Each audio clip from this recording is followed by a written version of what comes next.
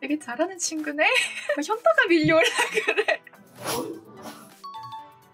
아, 어, 지난번에 춤선 리뷰한 이후로 다른 춤, 다른 무대들 리뷰를 해달라는 요청을 되게 많이 주셨어요. 저도 뭐 지금까지의 무대도 그렇고 앞으로의 무대도 그렇고 뭐 좀 무용적인 요소가 안무에 많이 들어가 있는 그런 춤이라면 좀 디테일하게 춤선이나 안무 리뷰를 하면은 더 좋을 것 같아서 어, 이번 리뷰를 하기로 했습니다. 기대하셔도 좋아요. 저 진짜 보고 소름 돋았던 그런 무대예요. 2019 멜론 뮤직 어워드에서 지민군이 했던 그 무대 한번 디테일하게 보려고 해요. 이 무대 같은 경우는 천을 들고 하더라고요. 그러니까 한국 무용에서 되게 많이 해요. 천을 들고 하는 거는 살풀이도 천을 들고 하고 그거 외에도 뭐 삼, 장삼, 한삼 이런 것들을 끼고 하는 춤들이 많기 때문에 천은 저도 굉장히 많이 날려봤거든요. 천이랑은 굉장히 가깝습니다. 그래서 왜 어려운지, 왜 대단한지 보면서 같이 얘기를 하면 좋을 것 같아요. 얼마나 어려운지 그건 여러분 이따가 테스트하는 방법을 하나 알려드릴게요. 직접 집에서 쉽게 확인해 볼 수 있는 방법이 있어요. 그거 좀 이따가 알려드릴게요. 어, 이건 소리는 없는 영상이에요. 뭐 단독 풀 무대가 아니라 멤버별로 짧게 짧게 짧게 짧게 진행한 무대인 거잖아요. 그래서 한 1분 정도, 1분 남짓 무대이기 때문에 자세하게 뜯어보는 게 좋을 것 같아서 제가 소리 일부러 없이 보려고 해요. 어, 왜 소리가 안 들리지? 이상하게 생각하지 않으셨으면 좋겠습니다. 원래 없어요. 등장부터 한번 같이 보시죠. 음, 불 빛이 내린다. 천 가지고 들어오죠. 저렇게 큰 천. 사실 저분들도 대단하세요. 저렇게 큰 천 가지고 들어오는 것도 가벼운 천이라고 하더라도 쉽지 않아요. 이게 무거우면 무거워서 힘들고 가벼우면 가벼워서 힘들어요. 왜냐하면 무거우면 무거우니까 잘 안 날려서 힘이 많이 들어가니까 당연히 힘들겠죠? 근데 가벼우면 바람이 이렇게 훅 뜨잖아요.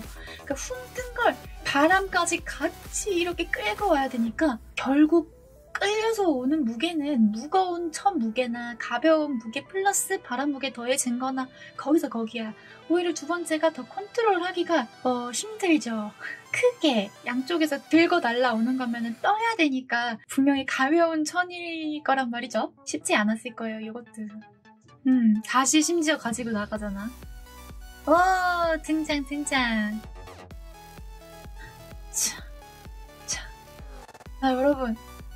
여기서 여기서 이렇게 등장할 때 왜 우리 대회가 있잖아요. 뭐 스포츠도 뭐 올림픽이라든지 뭐 세계 선수권 대회라든지 아시아 게임도 있고 판단하는 그 기준들이 있잖아요. 스코어를 매기는데 춤에서도 대회 콩쿨이 있죠. 거기서 심사위원들이 전체 다 뭐 끝까지 보진 않아요. 3초 안에 끝난다 그래서 딱 인트로 한 발딱 짚는 거 보고 그냥 몸짓 하는 만 보면 어, 쟤 잘하는 애네 못하는 애네 딱 거기에서 티가 딱 나요. 더 봐도 되겠다. 아니면 어, 안 봐도 되겠다. 근데 지금 시작 딱 보면 이 춤은 더 볼만한 춤입니다. 발끝을 한번 자세히 보시면 좋을 것 같아요. 발끝을 보시면요. 걸어 나올 때 그냥 뚜벅뚜벅뚜벅뚜벅 걸어 나오는 게 아니라 쓱 이렇게 발로 바닥을 쓸어서 쓸어서 걸어가고 있죠. 현대무용식 스텝이에요. 현대무용에서는 걸어갈 때 그냥 걸어가는 거 없어요. 시작부터 아주 기본기가 탄탄하죠. 그리고 시선. 지난번 영상에서 시선도 춤이다 얘기를 드렸었는데 저는 개인적으로 진짜 시선 처리를 중요하게 생각하는 사람이라 시선이 약하면 저는 눈길이 잘 안 가는 편이거든요. 딱 시작할 때부터 바로 카메라 딱 찾아서 카메라를 응시해요. 귀신같이. 바로 아이 컨택. 어, 천 날릴 때, 천을 넘길 때, 스텝, 스텝, 치고, 같이 치고, 그 다음에 몸 넘기고, 다시 천부터. 이것도 도, 천 도는 거랑 비슷해요. 칠 때 호흡이랑 같이 천을 먼저 이렇게 치고, 몸부터 갔다가 그 다음에 천을 먼저 이렇게 채워야 되거든요. 음, 각도 봐요, 각도. 정확하죠. 천 사용 잘 하고 있고, 여기 각도가 돌리면서 휘어져 있는 게 진짜 예술적이죠. 아, 너무 아름다워요. 싹 가지고 온 다음에 몸은 이미 지금 돌아왔잖아요. 다음 동작할 준비, 중심 이동 바로 자연스럽게 잘 되고 있어요. 그리고 어 여기서도 왼발이네요. 왼발에 댄스 치고 여기서도 지금 보시면 숙였다가 그 호흡으로 같이 쳐서 천을 날리고 그 다음에 가지고 와요. 천을 치는 게 어려운 이유가 그냥 힘으로 친다고 해서 되는 게 아니거든요. 힘으로 치면 안 돼요. 중간에 날렸다가 뚝 끊겨요. 천이 끝까지 안 날아가요. 끝부분이 전체가 안 날아가거든요. 그래서 이게 호흡으로 푹 날려야 돼요. 왜 우리 휴지 끊을 때 그렇잖아요. 나는 지금 휴지를 요만큼을 쓰고 싶어. 근데 끝에서 내가 팡! 힘을 세게 한 번에 팍 줬어. 그러면은 휴지가 한 요 정도에서 끊기잖아요. 힘이 끝까지 전달이 안 되니까. 근데 천천히, 천천히 힘을 줘서 뚝 끊으면 이제 조금 더 길게 내가 원하는 정도까지 끊기겠죠? 힘이 전달이 더 멀리까지 되니까. 마찬가지예요. 얘가 세게 팡! 그냥 던지면 이만큼밖에 안 날라가. 뭐 느리든 빠르든 이게 호흡이랑 같이 전달을 해야 얘가 에너지가 끝까지 가요. 이제 그걸 방금 이제 위로 날릴 때는 피면서 같이 호흡을 위로 후 보냈죠. 그러니까 천이 끝까지 이쁘게 잘 날아가죠. 아, 이 부분 같은 경우에는 진짜 축이 장난 아니에요. 무게중심 이동이 진짜 완벽하게 일단 잘 되고요. 이렇게 밸런스가 좋으려면은 중심 이동, 축 이동이 되게 잘 돼야 되거든요. 근축 이동 진짜 빠르게 빠르게 빠르게 잘 되고 있어요. 그게 잘 안 되면 흔들흔들 중심 안 잡힘. 중심 이동이 빠르게 빠르게 빠르게 잘 되니까는 밸런스가 잘 잡히는 거예요. 그리고 다리를 이렇게 킥 차면서 이렇게 돌렸는데 쫙 찼을 때 이렇게 선이 쫙 이쁜 선, 최대치 요게 딱 나오죠? 이게 무슨 말인지 잘 모르겠다. 춤 잘 추는 기준이 그래서 뭔데 너 지금 무슨 기준으로 얘기하고 있는 거야? 잘 모르겠는 분들은 블랙스완에서 춤선 분석 이 영상을 보시면 춤 잘 춘다 라는 걸 어떻게 판단을 하는지 그 큰 기준을 제가 언급을 해줬어요. 음, 그럼 우리 계속 이야기를 해볼까요? 푸, 잠깐만, 어, 지금 여기 정지 화면에서도 점프 했을 때 다리가 대칭! 대칭 장난 아니죠? 짠! 짠! 데칼코마니 팔은 그 다음 동작으로 있는다고 조금 더 이쪽 어깨가 넘어가기는 했는데 점프를 했을 때 이 중심도 코어에서 배 중심에서 딱 잘 잡혀가지고 다리 이렇게 벌려져 있는 게 2번이에요. 어깨 넓이보다 더 벌려져 있는 거 저기 2번인데 코어가 잘 안 잡혀져 있는 상태에서 점프를 하면 상체가 뒤로 넘어가요. 그리고 흔들 흔들 흔들 흔들거려. 이게 빠르게 지나가면 잘 안 보일 수도 있기는 하지만 볼 줄 아신다 하는 분들은 다 보이는 거죠. 그런 부분들 없죠. 간단하게 상체 잘 잡혀 있고 코어 힘이 되게 좋은 사람이구나. 이게 보이는 게 요 장면이에요. 음, 점프. 보이시죠? 점프 가기 전에 발끝으로 반원을 그리면서 이동할 때도 토가 아주 이쁘게 포인이 돼 있었고요. 그리고 점프. 하기예요. 이 동작 같은 경우는 우리나라 한국무용에서 합춤 출 때 많이 나타나는 동작이에요.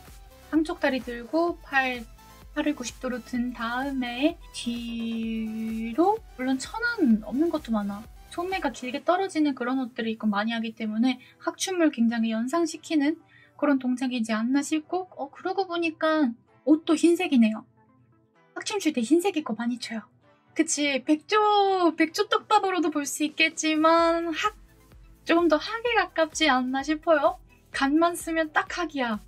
이게 현대무용을 해서 그런가? 합이라는 기본 동작인데 다리를 저렇게 깃발처럼 접어 올리는 또 기본기 할 때 또 쓰는 나오는 동작인데 저의 각도가 저만큼 올라가기도 또 쉽지 않을 텐데 들려져 있는 다리가 저 정도로 올라가려면 저것도 배에 힘이 없으면 안 되는 거거든요. 그리고 여기 했을 지금 점프했을 때도 발끝 장난 아니죠. 그리고 아까 호흡 얘기를 했는데 점프를 높이 하려면은 확실히 호흡이 없이는 그게 불가능하거든요. 그리고 호흡 없이 만약에 높이 뛴다고 해도 그거 무릎이랑 발목 다쳐요. 연골 다 달아 없어져 나가는 지름길이야 그거는. 이렇게 호흡으로 쭉 뛰었으니까 뒤에 지금 천도 싹 같이 이쁘게 날리고 있죠. 호흡 잘 활용하고 있다는 거예요. 지금 이 호흡 활용 때문에 분명히 좀 현대무용스러운 부분들이 굉장히 많고 지민이 하는 스텝도 현대무용 스텝인데 되게 한국무용스럽게 보이는 건 이런 동작들 합춤 같아 보이는 동작들, 의상들 이런 거에다가 이 호흡 때문에 좀 더 한국스러워 보이는 게 분명히 있는 것 같아요. 음. 여기에서 또 지민이 대단한 점이 나옵니다. 뭐 한국 무용, 현대 무용, 발레 비슷해 보일 수 있어요. 근데 이 세 개의 춤은 정말 정말 달라요. 물론 발레랑 현대무용은 테크닉적으로 좀 비슷한 게 있죠. 느낌은 많이 다르지만 어느 정도 뭐 겹치는 부분이 있을 수 있어요. 근데 한국무용은 동양의 춤이잖아요. 걔네들은 서양의 춤이고 정말 달라요. 호흡! 한국무용 출 때 제일 중요한 게 호흡이 끊기면 안 되거든요. 정중동의 미라고 해요. 왜 우리 동양화에서도 그렇고 여백의미 얘기하잖아요. 뭐 한옥도 그렇고 뭐 여백의미가 굉장히 중요하잖아요. 한국 무용에서는 그 정중동의 미라 그래요. 멈춰 있는 것, 중, 안에, 동, 움직임이 있다. 멈춰 있는데 움직여야 돼. 그리고 동중정, 움직이고 있는데 또 멈추고 있는 것 같아야 돼. 무슨 소린가 싶죠? 가만히 있는 것 같은데 흘러가는 물처럼. 물은 계곡이 가만히 있는데 물이 계속 쫄쫄쫄쫄쫄 흘러가잖아요? 뭔가 그런 느낌으로 쳐야 된대요. 그런데 이런 게 가능하게 만드는 게 호흡이거든요. 멈춰져 있는데 이게 호흡이 계속 이어지니까 그 기운이 이어지고 이어지고 이어져서 마치 움직이는 것처럼 보이는 춤이 한국무용이에요. 근데 발레랑 현대무용은 모든 동작을 할 때 일단 호흡이 들어가긴 해요. 근데 다르지. 그 춤들은 뭐 정중동 이렇게 기의 흐름이 중요한 춤은 아니거든요.